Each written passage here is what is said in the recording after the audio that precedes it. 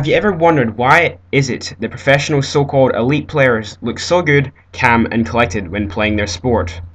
Why do they always seem to be to be there when the play comes to them? How do they make it look so easy? This movie investigates these questions in the sport futsal.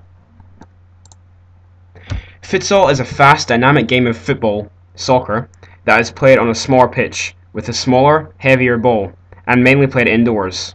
Its name is a portmanteau of the Portuguese Futebol de Salão, which can be translated as hall football or indoor football.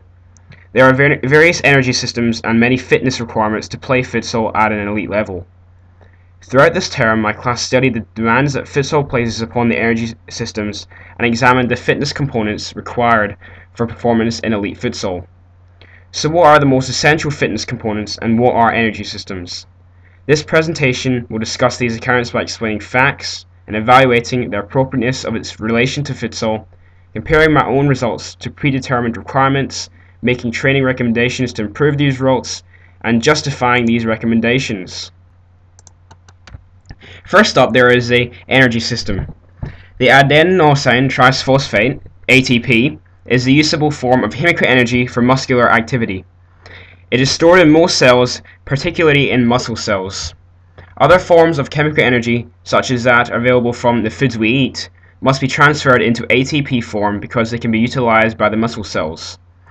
Since energy is released when ATP is broken down, energy is required to rebuild or resynthesize ATP. There are three methods to do this.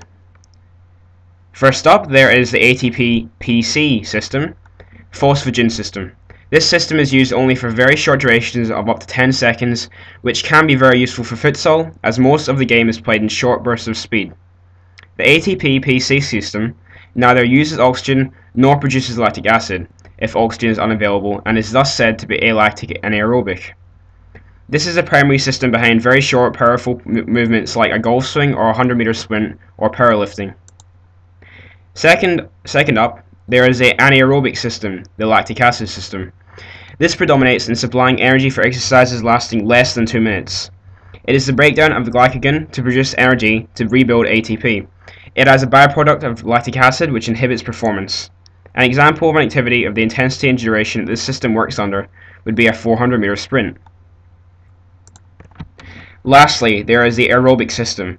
This is a long duration energy system. By 5 minutes of exercise, the oxygen system is clearly the dominant system. In a 1 kilometer run, this system is already providing approximately half the energy. In a marathon run, it provides 98% or more. This is valuable for futsal, as games can last up to an hour. Based off this research and in relating it to futsal, it can be predicted that it is the ATP-PC system that is the most valuable energy system in futsal. This is due to many reasons, some of which can be defined as follows. The ATP PC system is used only for very short durations of up to 10 seconds, which can be very useful for futsal, as most of the game is played in short durations of speed. It doesn't use oxygen or produce lactic acid, which can be a benefit to futsal, and is why most professionals would not be seen slowly moving around and instead would be sprinting short distances, moving back and forward across the court as both teams switch from attack to defense, and vice versa. This is why the ATP PC system is very important for futsal. Although the ATP PC system may be the most essential, the other two systems still have a large contribution to futsal. For example, the anaerobic system may come into effect after long games of sprinting around and the aerobic system will help to keep the body going with energy. Therefore, the ATP CP, PC system is the most vital energy system, but the aerobic and anaerobic are still important in the performance of futsal at an elite level. Now that we know what, what energy system is the most important, let's take a look at components of fitness. Venturing outside of the energy systems are the components of fitness, which can have a large effect on the performance in futsal and define how it is played at an elite, at an elite level. there is skill and health related fitness components which form the basis for success in many elite sports or just general activity participation. This affects futsal profoundly, and to be a master at playing it at an elite level, it is important to master the individual skill components relating it to futsal first. A few main components of fitness can be listed as follows. Speed, agility, balance, coordination, reaction time power, aerobic fitness, flexibility, and cardiovascular fitness. Although these are all important, in relation to futsal, it can be identified that speed, coordination, and aerobic fitness are the most vital or essential to play at an elite level. The first fitness component is speed. Speed is the ability to move quickly from one point to another, generally in a straight line. In futsal, most of the game is played in short bursts and darts of speed, and complex strategies of passing and sprinting. To have good speed would enhance the performance of any futsal player and it is vital for any elite player, even the goalkeeper, who may need to rush to block the ball at an incoming player. Great speed would enable the player to get from one end of the court to the other, which is helpful in futsal as both teams are always switching from attack to defense constantly.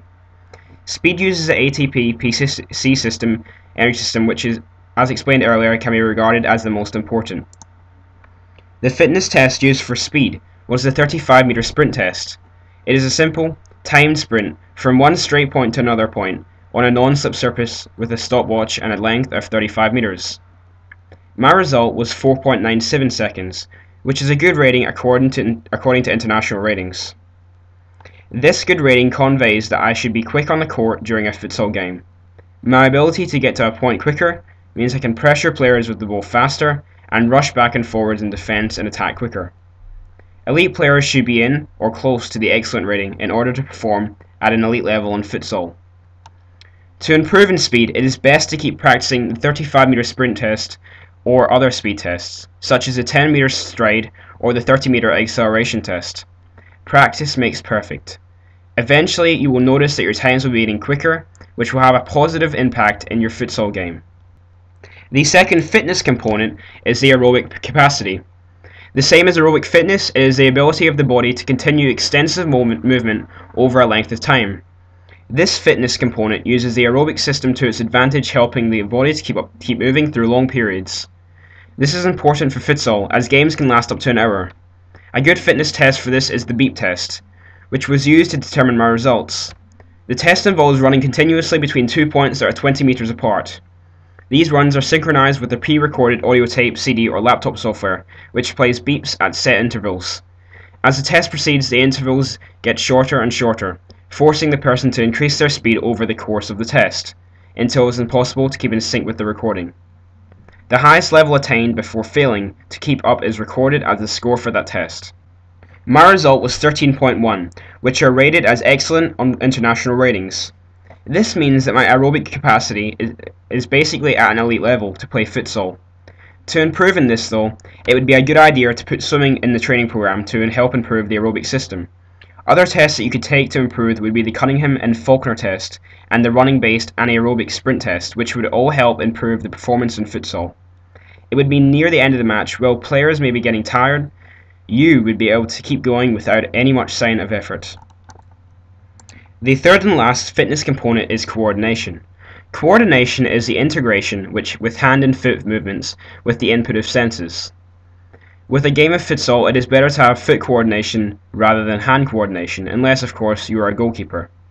Although this may be true, it is well known that coordination doesn't really vary that much throughout the body, and usually a person is equally coordinated throughout their body. This is why there is only one well-known coordination test, which is the hand-eye coordination test. The objective of the test is to monitor the ability of the athlete's vision system to coordinate the information received through the eyes to control, guide, and direct the hands in the accomplishment of catching a ball.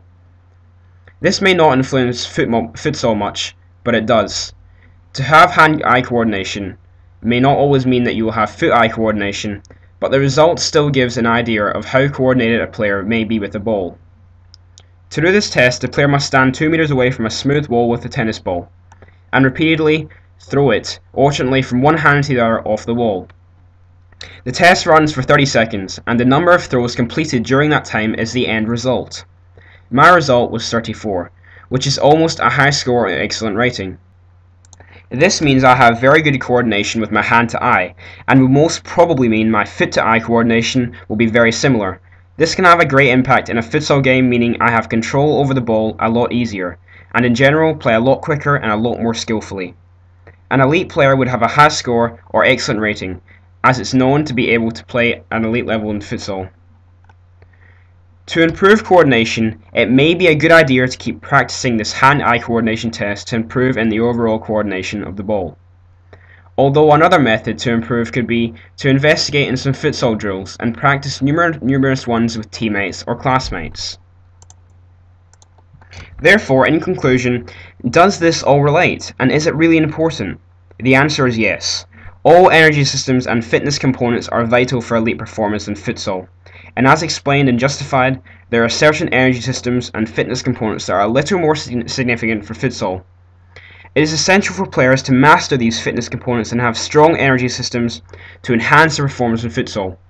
It will allow them to move quicker with coordinated, skillful moves over a long period of time. Therefore, with the most significant energy system and essential fitness components combined and mastered, then a player can call himself an elite player in futsal. Thank you for watching and I hope you enjoyed this video.